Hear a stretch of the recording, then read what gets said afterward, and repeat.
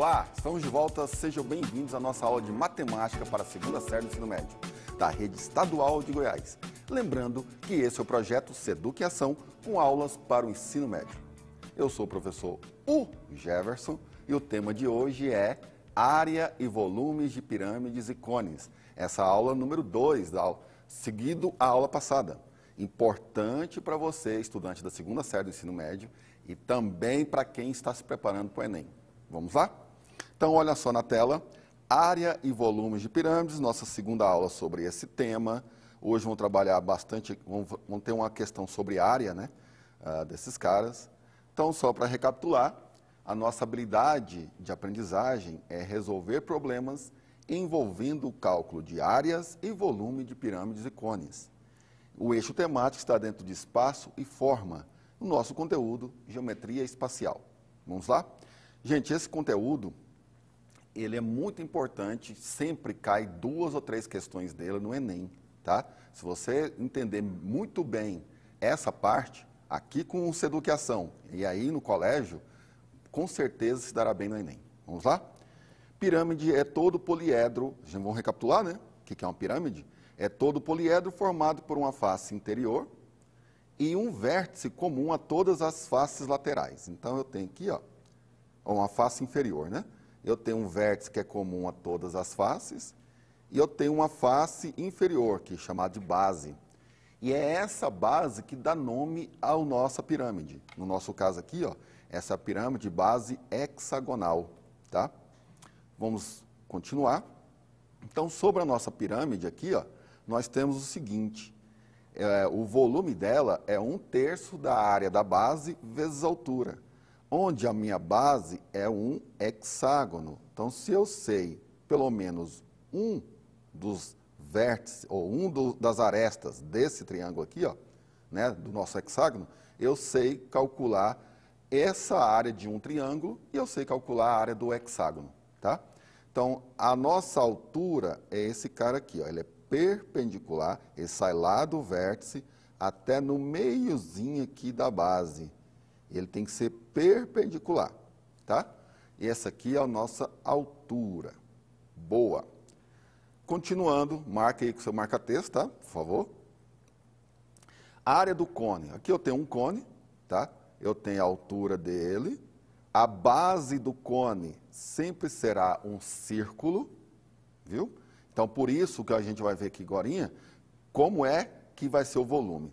Então, ó, a base é um círculo eu tenho a altura do cone, ele é perpendicular também à base, e aqui, ó, esse cara aqui é o raio do círculo, está bem no meiozinho.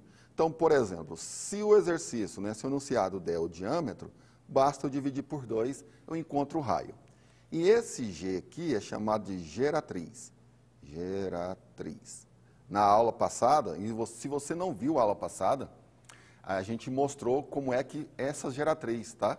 É uma linha, tá? É um segmento que se eu começar a rodar, ele vira um cone lá, é, é uma figura de revolução, tá? Então, isso aqui é chamado de geratriz, é ele que vai fazer girar, com ele eu encontro essa figura, tá? E aí eu tenho a área, a face lateral, né, aqui, ó. Se eu pegar esse cara aqui e fechar, vira aquele bonezinho de festa, né, aquele chapéuzinho de festa de aniversário e aqui eu tenho a base. Lembrando que o comprimento de circunferência, tá? O comprimento de circunferência é 2 pi ralho, tá?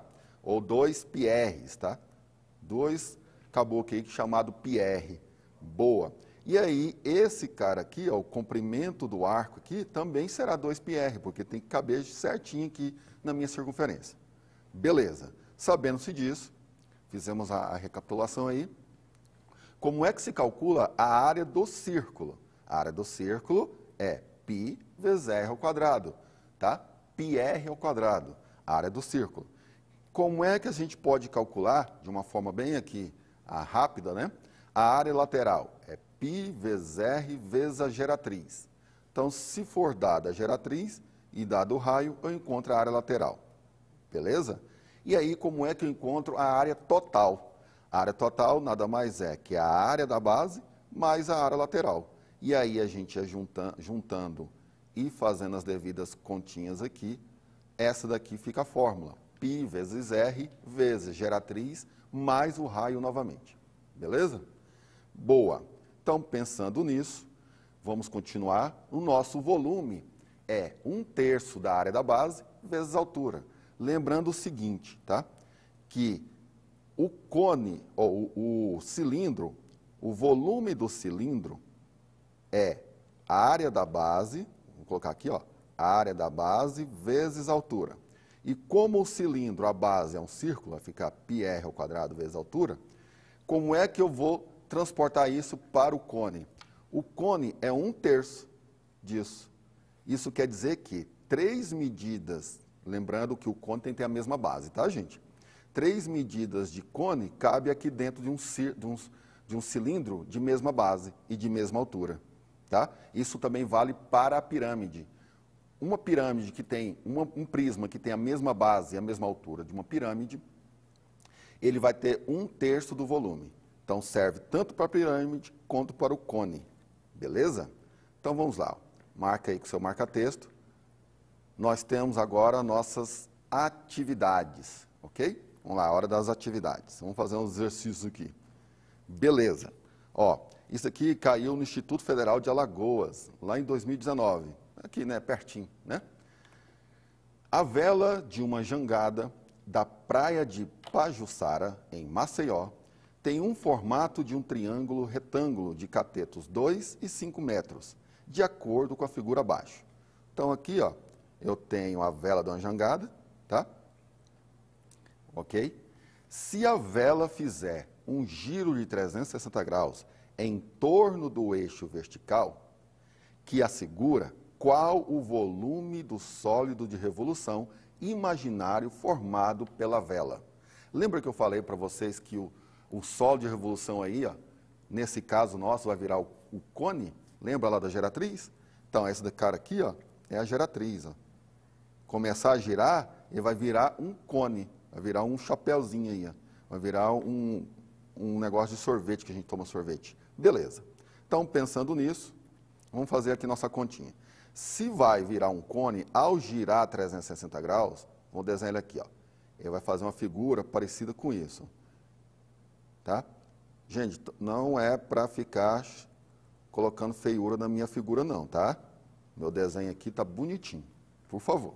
Então, ó, quando começar a girar, eu tenho raio. Esse raio aqui é 2. E aqui, ó, eu vou ter a altura. A altura é 5. Opa, a altura é 5, ok? Aí, o que, que, eu vou fazer? Ó? Se a altura é 5, o raio é 2, tá, o raio é 2, ele está pedindo o volume. Como é que se calcula o volume de um cone? É um terço da área da base vezes a altura. Então, o volume do cone vai ser um terço de π. Eu não vou substituir o pi, porque as minhas alternativas aqui, ó, até a maioria delas tem o pi aqui para eu marcar. Então, não vou substituir ainda. Vezes o raio. O raio é o tamanho aqui da, da vela, ó. Então, vai ser 2. E a altura está aqui, ó. É a vela no mastro. Então, vezes 5.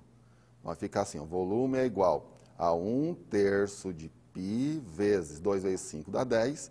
Então, a minha altura o volume vai ser igual a 10 terços de π centímetros cúbicos. Resposta certa. Ah, tá. Aqui é o quadrado, ó. desculpa. 2 vezes, 4, 2 vezes 2, 4. Aqui vai dar 20. 20 sobre π centímetros cúbicos. Letra. Centímetro não, metro, né? A unidade aqui de medida é metro. Letra D.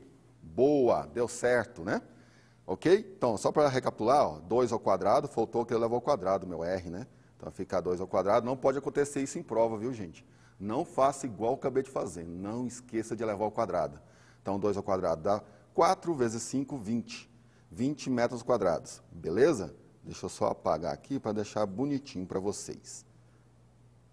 Então, aqui vai ficar o volume 20 pi sobre 3 metros, quadrados, metros cúbicos, que é volume. Boa. Vamos para o próximo. Essa daqui, ó, é da, da Universidade Federal do Paraná. Se você quiser fazer, na época, né, é, quiser ir lá para o Paraná, temos a, seguir, temos a seguir a planificação de uma pirâmide de base quadrada cujas faces laterais são triângulos equiláteros. Olha que informação muito legal isso aqui, ó, triângulos equiláteros. Esse daqui é muito bom. Qual é o volume dessa pirâmide? Então vamos lá. Vamos recapitular aqui, ó.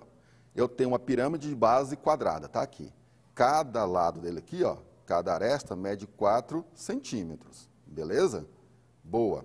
Então a área do quadrado eu dou conta de saber. Se eu souber qual é a altura dele, tem como eu calcular o volume. Mas como é que eu vou calcular o volume? Então vamos fazer o seguinte, ó.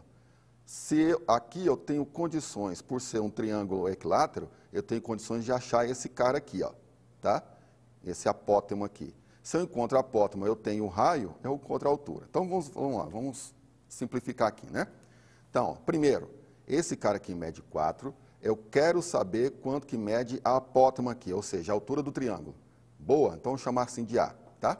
Aqui mede 4, aqui também mede 4, se é um triângulo equilátero, beleza?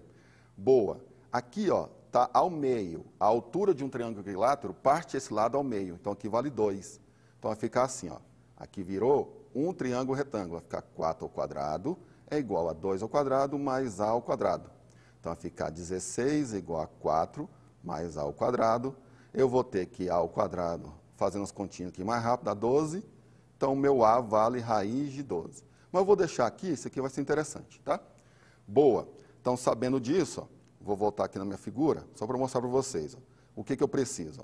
A ao quadrado é igual a R ao quadrado mais H ao quadrado. Vou pegar essa informação, tá? Que é outro triângulo retângulo. Então vamos lá, ó. Eu tenho que A ao quadrado. Ah, rapaz, a figurinha aqui fica melhor para nós, ó. Olha só. Eu tenho aqui A, a altura e o R. Vamos lá. A ao quadrado é igual a R ao quadrado mais H ao quadrado que eu quero achar. A ao quadrado vale 12. Então, aqui é 12. O R ao quadrado é o raio aqui de baixo, tá? É a, dividir, isso aqui vai ser dividido por 2, viu? Essa me divide por 2. Então, dá 2, porque o lado vale 4, mais a altura ao quadrado. Então, eu tenho que a altura ao quadrado é igual a 10. Boa. Eu tenho que H vai ser raiz de 10. E como é que eu calculo o volume de uma pirâmide? O volume de uma pirâmide é 1 terço de π de é, área da base vezes altura. Então, vai ficar área da base é um quadrado, então vai ficar 1 terço de 4 ao quadrado, lado ao quadrado, vezes a altura, que é raiz de 10. Então, meu volume vai ser igual a 16 sobre 3 raiz de 10. Resposta certa, letra A de amor. Gente, foi lindo, acabou aí. Muito obrigado, fiquem ligados que após o intervalo teremos aulas de geografia com o professor Alejandro, top professor, tá? Para você que é estudante da segunda série do ensino médio. Forte abraço, até mais, foi lindo.